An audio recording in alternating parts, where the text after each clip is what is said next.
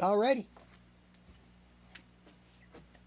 Welcome in, everybody. Ivan here. It is 11 o'clock, give or take a moment or two, and I want to welcome everybody back in to our second class of the day, to the 11 o'clock class, to green initiatives for barbershops and hair salons. We're going to talk about going green. We're going to talk about the power of going green. We're going to talk about the reasons for going green, and we're going to give you some ideas, creative ways that you can take your haircut business green in the interest of uh, all the reasons why green makes sense. It's all about the green, isn't it, guys?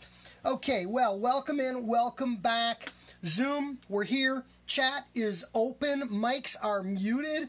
Uh, if you've got a comment or a question or you want to participate in the conversation, you are invited to unmute your mic. You can do that. Facebook, we're here. We've got Facebook looped in up on uh, the other device, and I want to just bring them up on the tablet. I kind of like to monitor the Facebook conversation because I've got the phone flipped by way of the tablet. And this will let us answer questions or interact with the Facebook community as well. So, we're good there. We're good here. You're good there. Um, big shout out, of course. You guys know we always start by mentioning our good friends at Barbicide and all of the efforts Barbicide is putting into helping us get back to work, to helping us stay safe at work, and to helping us build in our clients the feeling of peace, the feeling of safe, the feeling of um, comfort with us and with our professional environments. Barbicide certification, COVID 19 certification, uh, safe environment certification, the back to work plan, the reopening recommendations document. That stuff is all out there for you, uh, and I encourage you to take advantage of it uh, to jump on those tools and use those tools for you uh, and for your business community. So uh, we're good on Facebook. Uh, looks like the Zoom feed dropped. we know this happens from time to time, so we are going to take a moment and bring Zoom back up. I know how incredibly frustrating this is for everybody in the Zoom room. Last hour, let's be honest, let's give credit where credit is due. Last hour for our clipper cutting class, our skip guard tapering class, we never had a connectivity problem. We were rock solid the whole way through. Um, and that's why the payback today is we're having a little technical glitch a little early on. Okay, it is what it is. Let's just pop in on Facebook. We've got a comment on Facebook. Uh, Elizabeth, hello to you too. Let's acknowledge your comment. And uh, we'll be back at it.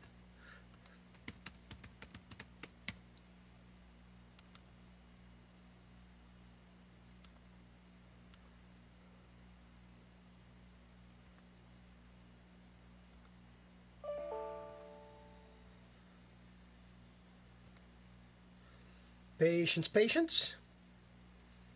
Just pulling Zoom back up.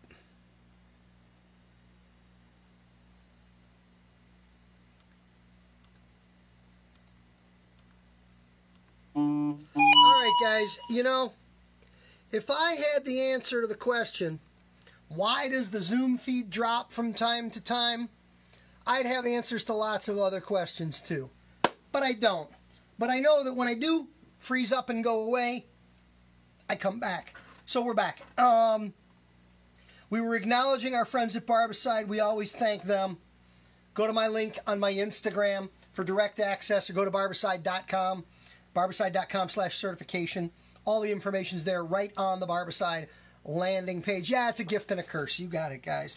$100,000 hair cutter, one idea a day, every single day for 365 days to help you build and grow your business. By now, you guys are very familiar with the book. Many of you have purchased the book, paper, digital, or audio. I'm glad you have it. I hope you use it. For this particular program, we already talked about today, but I want, earlier today, I want to go to April 22nd. April 22nd, 112 days into the year with 253 days remaining in the year.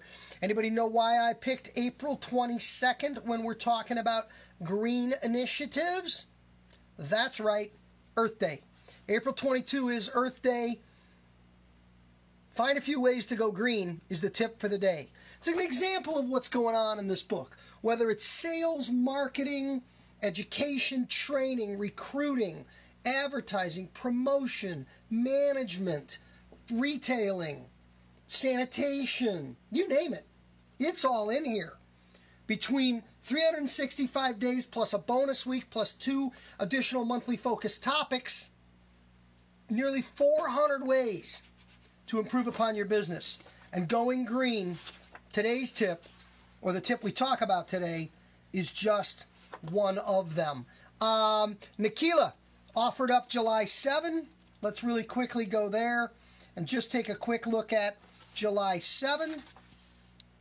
July 7, day 188, 177 days remaining in the year. Word about the tipping point.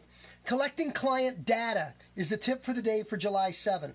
Collecting client data is an important part of marketing and managing your business. You can go old school and keep client records on paper with a pencil.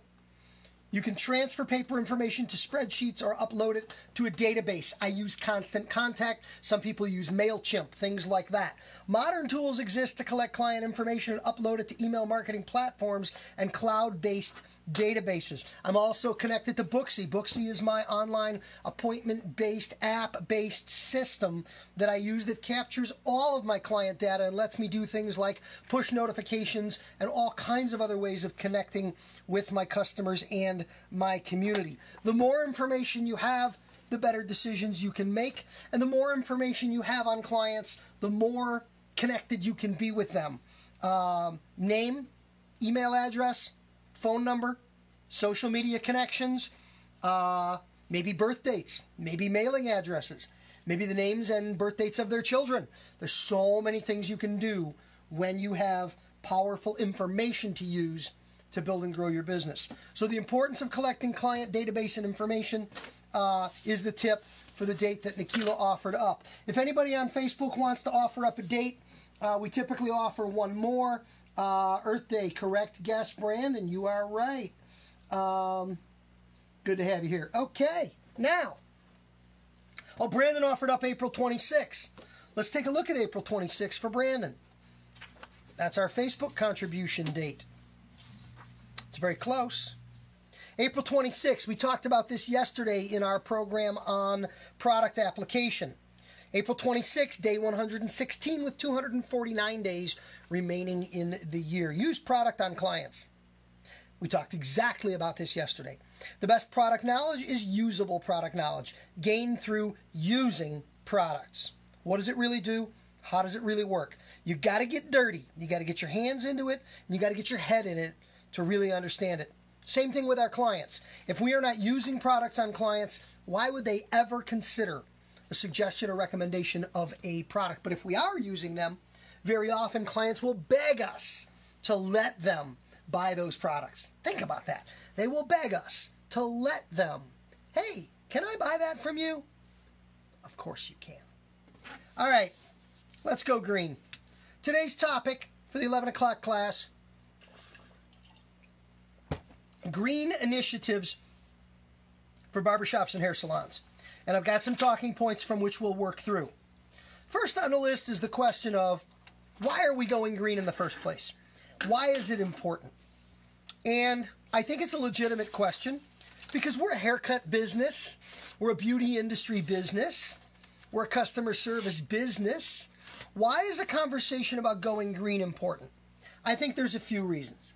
I think reason number one why it's important is because it's our planet and we live here and we need to make it as livable as possible for us right now and for those that come after us. I have children. Uh, I'm waiting on grandchildren. I'm hoping that's going to happen. Um, I'm looking forward to that. I want to take them to the park and I want to take them fishing and I want to take them hiking and I want to do a ton of stuff outside to enjoy the world in which we live. And I want everybody else and their children and their grandchildren and the children that come after that to be able to enjoy a lot of these good things. So green is good just for green's sake. For the in the interest of protecting the planet, you know, uh, there are those that will argue that humans, like animals and other organisms, really have little ability to impact the long term health of the planet. And I think if you want to get, I, I don't even want to get into a big discussion about things like global warming.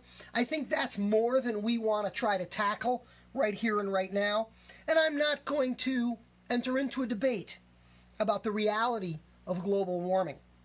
But I will enter into the debate about having clean, fresh water in your community, um, picking up garbage alongside a roadside, um, you know, using less throwawayable items that are filling up landfills and things like that. Things that are very immediate, very direct, and very much have real contact with us every single day. Um, yeah, let's talk about the whole planet, but let's bring it right down to us and our homes and our families and the things we engage with and experience every day. Let's also acknowledge green's good for business. Um, you have clients for whom green initiatives are very, very important. You have clients that don't care about green initiatives, but you have clients that do. The clients that don't care won't care that you're doing green things, but the clients that do care will really care about the fact that you're doing green things. So even if you don't have uh, a huge base of customers concerned with green, it can't be bad. It can't hurt your business to be involved in green initiatives. You know, I have seen situations in which salons that are more green oriented or green focused are even charging more because their expenses are higher because not everything that you do green related, and we'll see this in our list, is going to be free. Sometimes green costs you a little more, and sometimes that little more is absolutely worth it. And for clients that are hyper focused on green initiatives, the fact that things are more expensive because they're green is not a problem for them. You know, I have seen many times in some toy stores, um, especially some of the toy stores in the airports and things like that when I was traveling, um, a brand of toys that are made from 100% post consumer recycled plastic. And those toys are also packed in 100% post consumer packaging manufactured from recycled materials. And these are fun toys and these are nice toys, and, and that's all well and good.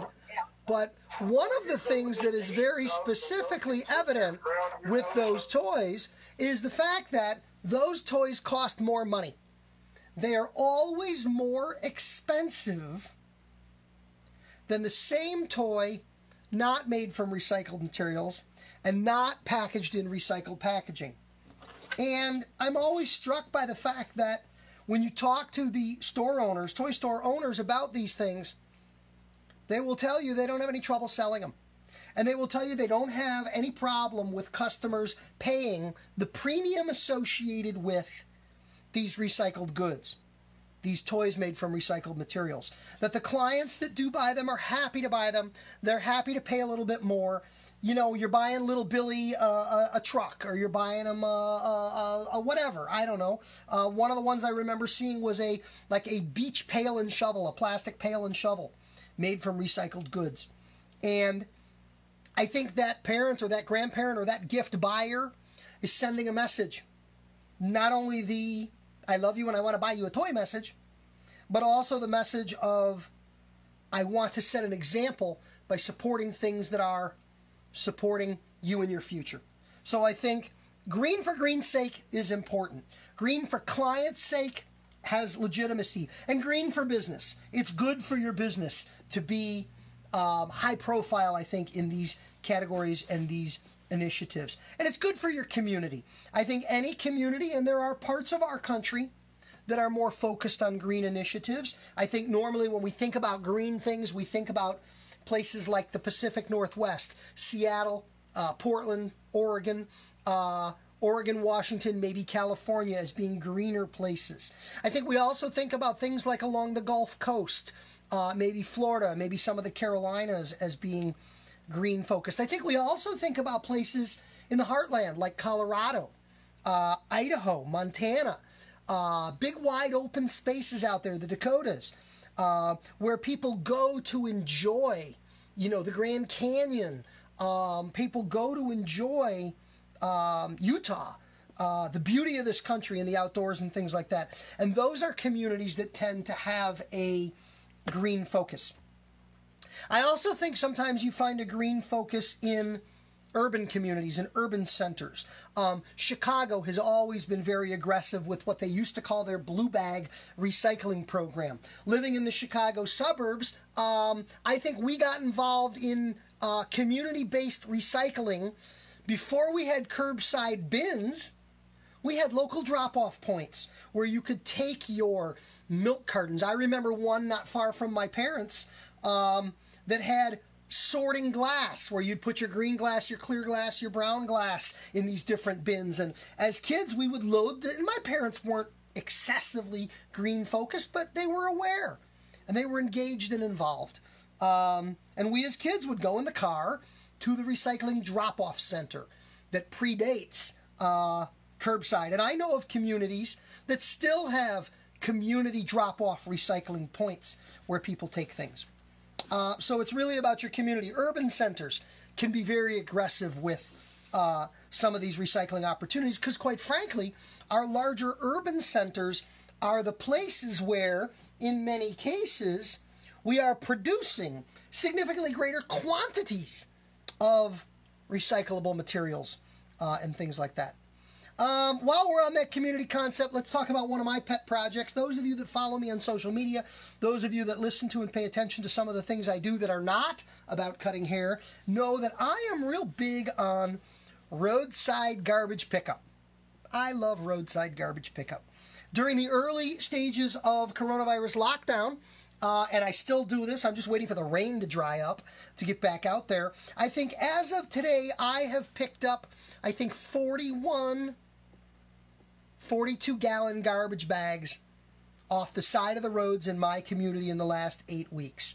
I did a lot of garbage pickup when the weather was clear and cold, but nice. Um, I would park my truck, walk down the side of the road, load up bags, put them in my truck, and take them to my village's um, municipal garbage collection area to dump them out. That's just me doing my thing.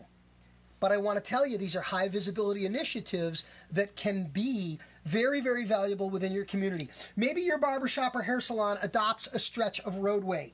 And here in Illinois, where I live, we have programs to adopt stretches of roadway in this way, where you can sign up with the state to have a sign put up that says, This piece of road belongs to Mike's Barbershop and we pick up the garbage. That's great. You can do that if you want. But the area where I collect garbage in my neighborhood doesn't have a sign with my name on it. And I don't do anything to advertise that I'm doing it. I share it on social media not to brag or show off that I'm out picking up garbage. I share it on social media to inspire others to do the same and to encourage others to do the same. I just, you know, I, it's impossible for me to understand how somebody can throw a pop bottle, a water bottle, uh, or a candy wrapper or a pack of cigarettes, an empty pack of cigarettes, out the window of a moving vehicle. Um, I, I, just can't get my head around it. I, I, I don't understand. But it happens, and it is what it is. And if you're not part of the solution, you're part of the problem. I don't think I can drive by a stretch of roadway looking at that garbage and not want to get out and do this. I keep gloves and bags in my truck. But that's enough about me and what I do. It's more important to recognize that these are things you can do within your community in a very high profile way. So let's talk about the specifics of green initiatives within your barbershop or hair salon. Number one, try to go paperless if possible. I think there are a lot, there's paper in our businesses, and I think we can get rid of some of this paper. I think we can get rid of uh, paper schedules. We can use apps and Excel spreadsheets to do things like that. I think we can get rid of bags used for product. I think we can put the product on the counter and say, here you go. And very seldom is a customer going to say, do you have a bag for that? Customers have backpacks and purses and things. They'll throw those things in there. Um, so we can get rid of paper that way. We can get rid of paper appointment books today. Everybody is moving to online and digital appointment booking. Um, the apps, I use Booksy. Everybody knows I'm part of Booksy. Um, the Booksy app to be used to uh, keep track of appointments is a very easy way to eliminate a bunch of paper. I'm still a business card guy. I still love, and everybody knows, when it comes to building business, I'm all about business cards, and they're paper. People keep them, some people throw them away. They can be recycled. Um, but you know, there are digital options for business cards now. There are digital business cards where phones can be uh, held near each other or tapped or swiped or QR code based. Uh, business cards to eliminate that. One of my favorite electronic business card ideas, and I have this for myself at my shop, I have a little picture frame. It's about that big. And it's a picture frame and it sits on my desk. And it's a picture frame and it looks like what's in it looks like a business card. It's got my name and my phone number and my email address, my website, and the name of the shop and the shop phone number and all the information on it like a big framed business card. And you know what I do with that? I tell people, hey, I want you to have my card. And I hold it up, I usually smile, and I hold it up and I say, take a picture. And people, they get their phone out Everyone always everywhere has a camera with them now. And they take a picture of my picture frame, my little framed card, and they keep it. Some of them I know have saved it as my face in their phone book, as my, what do you call it, my icon, my image, whatever you call it, uh, my profile image in their phone book. So now not only is my picture a picture of me, but it's a picture of my business card, and they've got it. So that's another example of how we can go paperless. Look around your shop, look for every single thing you have on paper, and ask yourself, can I eliminate it? You know, for those of us that take credit cards, the credit terminals now, you know, the touchpad, card swipe, credit card terminal things that so many of us are using, those have a button where you can choose an email or a paper receipt. Encourage people to get that email receipt. Double whammy collecting client information, not only do you not use a paper receipt, but now you capture their email address. Double benefit. Next on the list is recycling. Let's talk about recycling in a barbershop or hair salon. There are several opportunities for recycling. We are using products in bottles and plastic jars and pucks.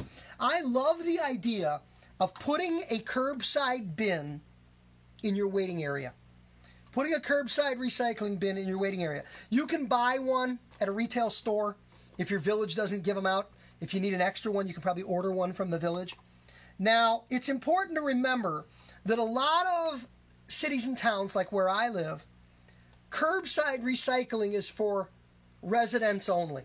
We don't have curbside recycling for commercial businesses. Imagine a tavern with a number of bottles of beer they'd be putting out at the curb like that. It doesn't work. Most of those guys do their recycling different ways. But a recycling bin in the waiting room can be powerful in a lot of ways. Number one, as we use packaging in the shop, when it's empty, we will throw it in the recycling bin. This is what I did in my shop years ago. Number two, we will encourage clients to use the recycling bin. If somebody walks in drinking a bottle of water or soda, when it's done, throw it in the bin. I promise you, if you have a garbage bag and a recycling bin, a garbage can and a recycling bin next to each other in your waiting area, very few customers will put the water bottle in the garbage. If it is there, if it is convenient, if they can do it, if they don't have to walk somewhere else, they're going to do the right thing. I believe and I have faith that people will do the right thing. So have that recycling bin out front. Just by putting the recycling bin in the front lobby waiting room area of your shop, you're sending a message about the business's attitude towards recycling. It's a way of putting your green behavior right up front for everybody to see to know that you're involved in it. So I think that can be important as well. And almost all of our hair care product packaging is, in fact, recyclable. While we're on that subject of recycling and while we're on the subject of product packaging, I think there's also an opportunity here to cut down on our packaging. Larger sizes. If you're using back bar, if you're using a gel on the back bar, if you've got an eight ounce bottle on every station, that's eight plastic bottles for eight stations. But if you've got a 32 ounce bottle with a pump in an area centrally available to everyone, anybody can walk over, take a shot out of that pump. Now you've got one bottle that will go in the bin when you're done. So bulk sizes do make sense. There's another initiative out there that I've seen from some manufacturers, and that is refills done in what they call flex packaging. So you've got a large bottle of shampoo on the back bar that you use to shampoo your customers. And when it's empty, instead of replacing that bottle with a bottle, many manufacturers sell like a pouch, a pouch pack that you can unscrew and squeeze and dump into that same bottle. I had this back in my shop in the day from one of my manufacturers, and I seriously think I had a plastic bottle of shampoo on my back bar, and that bottle had to be five years old. Because I just, and this was a while ago when these were new initiatives, we just kept refilling that bottle from a flex pouch. And the flex pouch, when it was empty, rolled up nice and flat. It was very, very small. If it got landfilled, it took up very little space. But if it didn't, it went in the recycling bin. It got recycled and it got reused. So bulk sizes and flex packs are really great ideas. There's also some better thought in products out there. There are products that are made in packaging specifically designed to be recycled. Um, there's a brand that I have been exposed to in the past that had bottles that were actually biodegradable. They were a material that, when buried in a landfill, very rapidly compared to this, which will be around for I don't know how many thousand years, uh, if it didn't go into the recycling bin. Um, these were products specifically designed to biodegrade. And there was actually a product some of you may be familiar with. I don't remember the brand name of it, but it was a hair care product brand that was in a package that was biodegradable that also contained plant seeds molded into the bottom of the bottle. And the idea was you would use their shampoo, and when you're done, you would throw the bottle or you'd bury the bottle. You'd take it out and you'd bury it. And when you buried that bottle, number one, it would biodegrade, and number two, the seeds would then create a plant or a tree or something like that. Now, this falls in the category of choosing the products with which you work that have stronger environmental connectivity or stronger environmental initiatives. We know some brands out there that have a green pitch or a green angle to them. Again, to appeal to customers for whom that is valuable or important. But there are products out there that contain um, lower levels of detergents, so they're more environmentally friendly as they enter the water stream. There are products out there in, as we said, recyclable packaging. Um, there are better choices, lower levels of chemicals and things like that. So I think that makes sense. I think we also get into the green conversation when we talk about our water. Whether it is um, well water that we're using or whether we're using treated city water, um, whether we're filtering our wastewater to remove contamination from it before it's sent back out into the water system, if we can filter out any kind of toxins or any kind of negative components, especially those of us that are using a lot of hair color and a lot of bleach and that are rinsing a lot of chemicals into our drains and into our systems. I know that there are some rules in some places that are a little more environmentally focused that deal with uh, reducing the contamination that we put out into the water stream. Just like factories and other industrial employers and businesses and industrial manufacturers need to be aware of some of those types of thoughts and concepts and initiatives. Thinking a little bit about the water uh, that we're creating as a byproduct of our business. Uh, next on the list is refills. And this is something that we did in my shop. And back in the day, I got to tell you, my whole focus was not on, hey, let's be as green as we possibly can be but I did think these things were important. I had stickers on my bottles that offered a discount for a refill. So what I had done was for all of the popular hair care products that I sold, I had purchased gallons, big gallons with pumps. And I had them in the back. And if you brought in your shampoo or your gel or your conditioner, if you brought the empty back, and let's face it, this takes a little bit of work on the part of the client. Clients are only going to do this if it's important to them, but clients will also do this if there's something in it for them. You know, selling the WIFM, W I I F M. What's in it for me? That's always what we ask ourselves as it comes to um, sales initiatives and marketing initiatives. What's in it for that end user consumer? So our sticker said, bring this empty back for a refill, save 10%. So you would bring in your bottle of shampoo, I would take it in back and I would open it up, pump, pump, pump, pump, pump, fill it up, take it up front, and if it was an $8 bottle of shampoo, you paid $7.20 for the refill. You got rewarded. So I wasn't putting another plastic bottle out into the universe. They were getting more shampoo, they were saving money, and I was getting them to buy their next shampoo from me. So this is an example of win, win, win, win, win. The environment wins, the customer wins, I win, everybody wins. Excuse me, you win.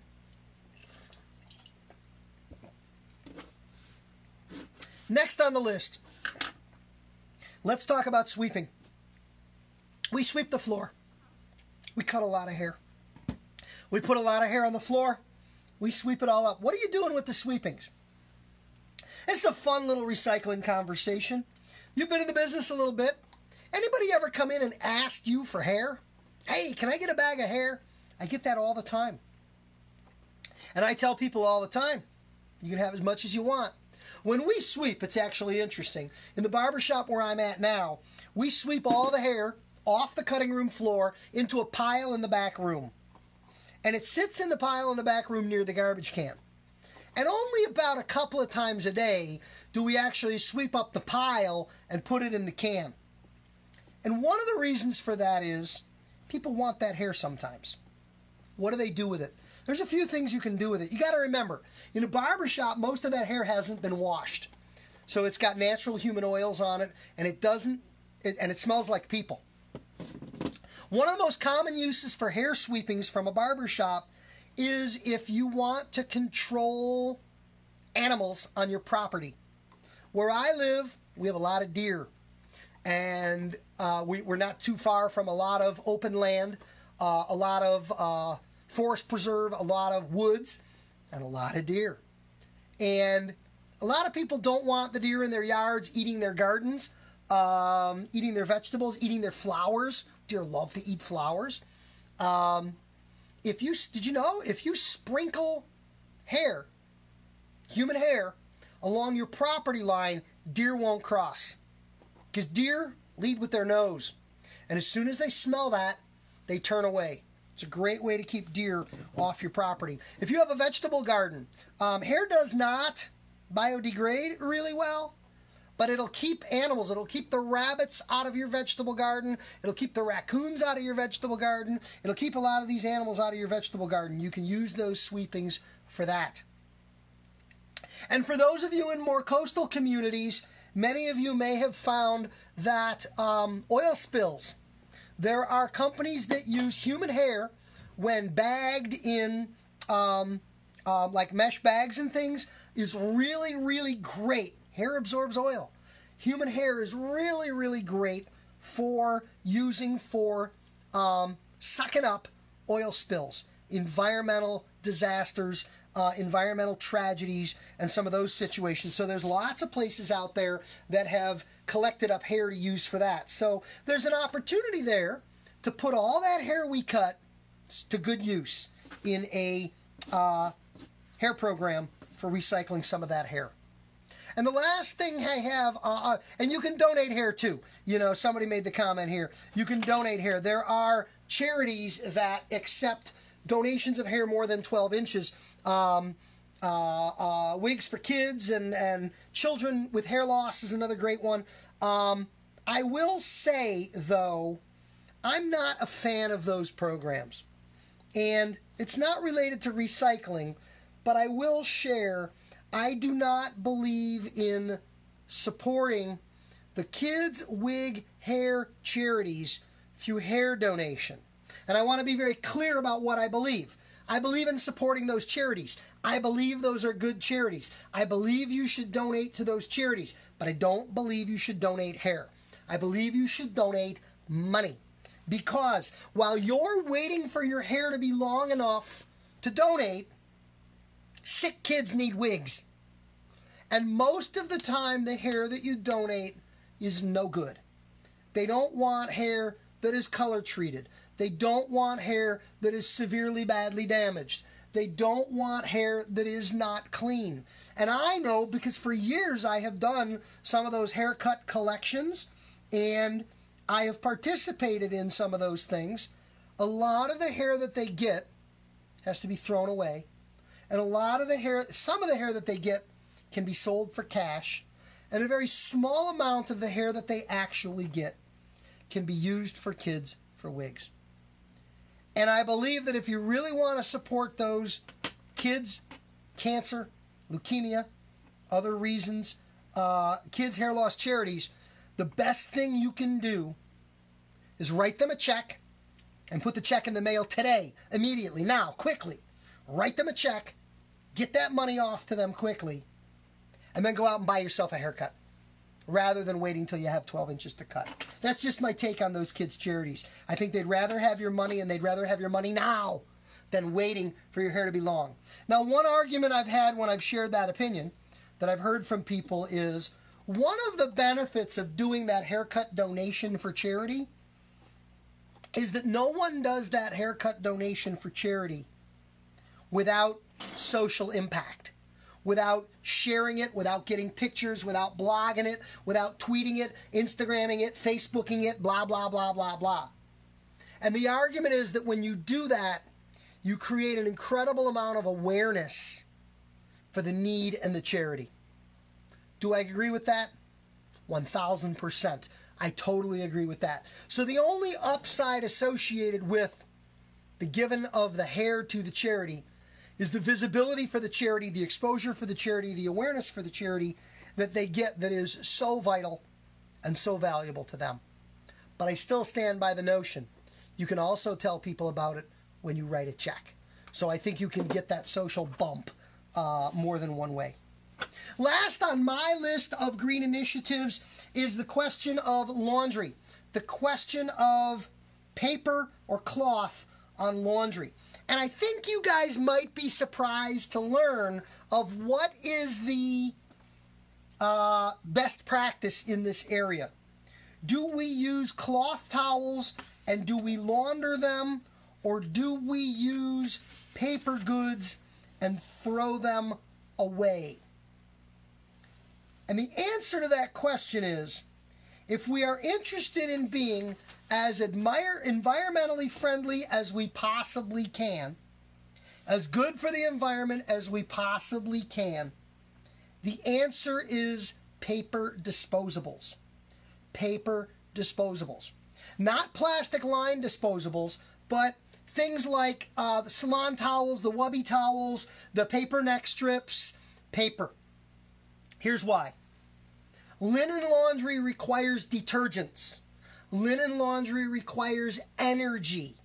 Linen laundry is a contamination or is dirty to begin with. Linen laundry is actually more negatively environmentally impactful in the context of a hair salon than are paper goods. You're better off buying paper, using paper, and throwing paper away. The paper that we use in our industry biodegrades very, very quickly. It goes away very, very quickly. It is cheap. Um, it has minimal environmental impact. And when you choose paper, unbleached paper obviously reduces the chemicals used in paper production. Uh, that can be helpful. Um, but using paper, keep in mind a lot of the paper companies, because they rely on paper for their business. They grow trees, they plant trees, they're very environmentally involved. I'm not paid by a paper company. I'm not sponsored by a paper company in any way, but I want to tell you the paper companies generally are very environmentally conscious. They're very, very good about the things that they do. The paper companies come from places like the Pacific Northwest or Georgia Pacific down in Georgia or the Wisconsin, northern Wisconsin is loaded with trees. Northern Wisconsin is loaded with people that really care about the environment. And northern Wisconsin is loaded with paper companies. And these paper companies are very active in doing good things to support and maintain the environments in which they do business. So all of that adds up to somewhat counterintuitively, somewhat contrary to what you might think, it is much better in our industry to use paper disposables than it is to use laundered linen for taking care of our customers and growing our business. All right, guys, that's what I have on my green agenda. I want to open it up for questions about green initiatives for your business. Um, I, I, think it goes without saying, I didn't really spend any time here talking about um, using social media to promote your green activities and the value associated with that. I think that's a given. I hope everybody understands. If you do green, talk green. Questions here on Zoom, questions on Facebook. Let me see if we got anything uh, new from the folks in Facebook land by way of some contribution. Um, hi from New Mexico. Eugene, Oregon's checking in. Good to see you guys there. All right. Anybody else on Zoom with questions or comments as it relates to the world of green? Because if not, we're going to wrap a little bit early. We're going to be back tomorrow. Tomorrow is Thursday. On Thursday's schedule, we have Clipper Clinic, episode three. That's been a fun class. I've got more clippers down here to be shared, to be explored, to be looked at, and to be learned about. We're going to go to Clipper Clinic. And um, 11 o'clock tomorrow is making the most of a first time client. There's a reason why this subject is very, very relevant right now. There's a reason why it's a very important conversation. We're going to get into it tomorrow at 11. And then Friday, we have condensed cutting at 9 o'clock and tracking and statistics at 11. I'm also working on next week's schedule, so if you have suggestions, ideas, contributions for topics or subjects that you wish to talk about or that you wish to see us address, I invite you to bring them to me. Hit me with a DM. And by the way, all of these classes can be watched on replay for the rest of the day, and then they go into my Patreon. They go into my um, online uh, academy where you can sign up and you can continue to watch these over and over again. Wednesday night is meeting night. We've got a live meeting on Wednesday. You guys are all invited to join. This week it's an open meeting. It is usually exclusively for my online community, but we're updating the agenda. We're updating the content, and I want people to come in and try that support meeting. If you want to be a $100,000 hair cutter, if you want to build and grow your business, that meeting is all about supporting that community in that way. Uh, do you ever t- you give the hair away? Yeah, we don't charge for the hair. Anybody wants hair clippings, it's free. Bring your own bag. BYOB. Bring your own bag. People come in with a brown paper grocery bag and load it up and take away the hair. It's yours. Um, product class. We'll be doing more product classes coming up. That's another request we've had. So we will definitely attempt to provide that as support for folks that want to see that again. And David, that's still available for replay uh, if you're interested on the Patreon site. Uh, you're invited to go there and join up and sign up there as well. So, thank you, everybody. Have a wonderful day. Enjoy the rest of the day. Enjoy the rest of your time. And we'll come back and we'll do more of this again right here on Zoom and right here on Facebook. Thanks, guys. Talk to you soon.